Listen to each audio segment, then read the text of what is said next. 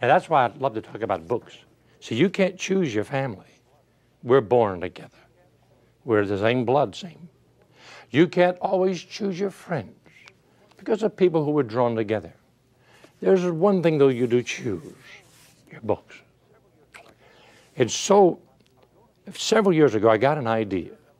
I would go to these meetings and I would hear them talk about what Earl Nightingale did, or what Lee Iacocca did, or what Ross Perot did, or what Zig Ziglar did, or what Dr. Norman Vincent did, or what does, and you know what I used to think after about the 50th time? I said, listen, I know I didn't do much, but you got to remind me every time I come in here.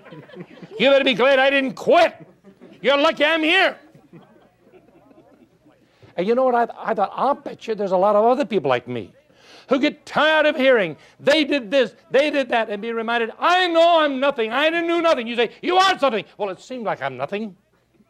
When they talk to me, they talk to me like I'm nothing. Then they tell me I'm something.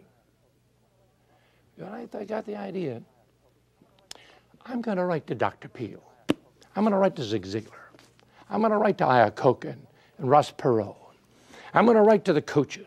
And I'm going to say, we all know what you did. People tell us every time we go to a meeting. Somebody's telling me what uh, Adoniram Judson did, or William Carey did, or David Livingstone did. And I wrote these people and I said, I'd like you to share with me, just in 200 words or so, what was one of the great influences in your life? And so Art Linkletter. And each of these people began to respond. Raymond Berry of the uh, New England Patriots. And guess what they wrote back, each one? Each one wrote back in about 200 to 250 words what influenced your life, and guess what it was in every case? A book. A book. I knew it all the time. You don't think I'd ask them a question if I didn't know the answer to you. I knew what they were going to say. They did. However, there were two or three of my heroes who wrote back and said, I believe the greatest thing in life is health.